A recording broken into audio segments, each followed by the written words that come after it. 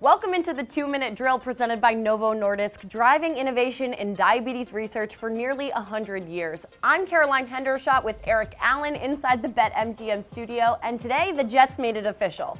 They announced the signing of cornerback DJ Reed, and with Reed, is it fair to say he plays bigger than his size? No doubt about it, Caroline. Most times when we think about a 5'9 cornerback, you're talking about a nickel, but DJ Reed is an outside cornerback. In his last two seasons with the Seattle Seahawks, he had four picks, 17 pass defenses, and 140 tackles.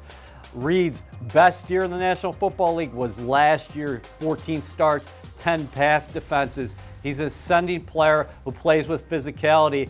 Uh, this stat really jumped out to me. According to Next Gen Stats, he allowed a completion percentage of 49 when he was the nearest defender, tying for the fifth lowest percentage in the league amongst all defensive backs. Wow. So, like Laken Tomlinson, there's a connection with Reed to head coach Robert Saleh, isn't there? We got to go back to San Francisco in 2018. Robert Saleh was Kyle Shanahan's defensive coordinator. The 49ers grabbed Kansas State cornerback DJ Reed in the fifth round uh, in that 2018 draft. He's a guy who's familiar with the system. He can play both zone and man to man. You love that he comes up and plays the run as well, and he's got a very good feel in the passing game. So, how does Reed fit into the Jets cornerback room? Well, this is a young group, and they're not getting much older, but they get a lot more experience and DJ Reed, he'll project as a starter on the outside. He's going to make your depth better as well because Bryce Hall and Brandon Echols both did